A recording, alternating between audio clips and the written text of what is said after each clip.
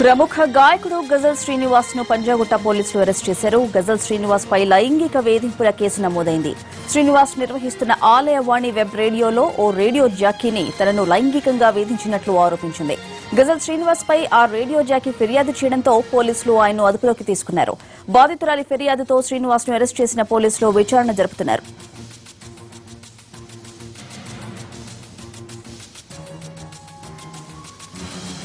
ప్రముఖ గజల్స్ గాయకుడు శ్రీనివాస్ పై లైంగిక వేధింపుల ఆరోపణలు కలకలం రేపుతున్నాయి.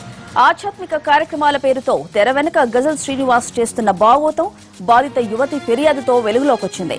బాధితురాలి ఫిర్యాదుతో గజల్ శ్రీనివాస్ను పోలీసులు అరెస్ట్ చేశారు. ఇన్నాళ్ళు గజల్ శ్రీనివాస్ను అభిమానించిన వారు కూడా ఆయనపై వచ్చిన ఆరోపణలు చూసి అసహించుకుంటున్నారు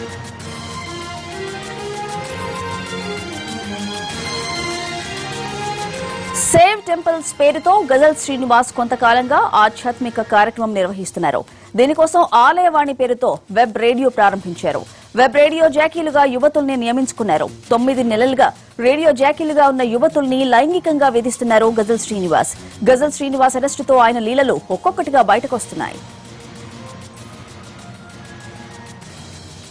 గజల్ శ్రీనివాస్ ఆలయవాణి వెబ్ రేడియో కార్యక్రమంలో చేసిన పాడు పనులు అన్ని ఇన్ని కావంటున్నారు బాధిత యువతి. గదిలోకి పిలిచి అమ్మాయిల్ని లోపరుచుకునే ప్రయత్నం చేస్తారని మసాజ్ చేయాలని యువతుల్ని బలవంత పెడుతున్నారని ఆరోపణలు వెల్లువెత్తుతున్నాయి. ఆలయవాణి గదిలోనే అమ్మాయిలతో గజల్ శ్రీనివాస్ మసాజ్ చేయించుకున్న వీడియో ఆధారాల్ని కూడా పోలీసులకు బాధితురాలు ఇవ్వడంతో కేసులో బలమైన సాక్ష్యం ఉన్నట్లేనని భావిస్తున్నారు.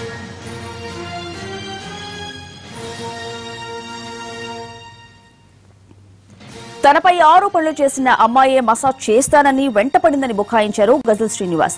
తన లీలలు వీడియోకి చిక్కడంతో పెదవి విప్పిన గజల్ శ్రీనివాస్ బాధితురాలిపై ఎదురు దాడికి దిగారు. అసలు తన రూమ్లో వీడియో కెమెరా ఫుటేజ్ దొంగిలించినందుకు ఆమె మీద కేసు పెట్టకుండా వదిలేయడమే తాను చేసిన తప్పని అన్నారు.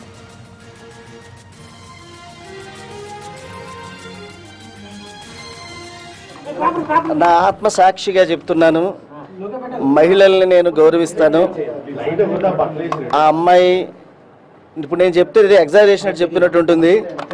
ఈ రోజుకి కూడా నాకు ఎవరైతే కంప్లైంట్ చేశారో అమ్మాయిని నా బిడ్డలా చూశాను. అమ్మాయిని నా బిడ్డలా చూశాను. అమ్మాయి మేమంతా పెరిగినటువంటి ఒక ఆధ్యాత్మిక సంస్థలో చక్కగా పెరిగిన అమ్మాయి ఒక బాల వికాస్ టీచర్ అని చెప్పి మా క్లాస్ మా ఆఫీస్లో ఉద్యోగం ఇవ్వడం జరిగింది.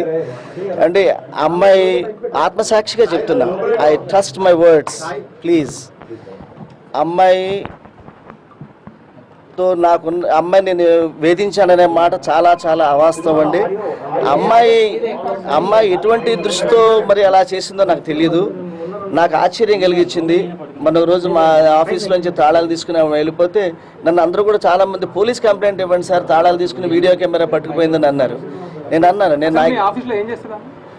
షీజ్ ఒక చూస్తుంటుంది. నాకు ఇటీ నాకు ఇటీవల నాకు ఇటీవల యాక్సిడెంట్ అయింది. ఓకే. హాస్పిటల్కి వెళ్ళొచ్చాను మెడికల్ రిపోర్ట్స్ ఉన్నాయి.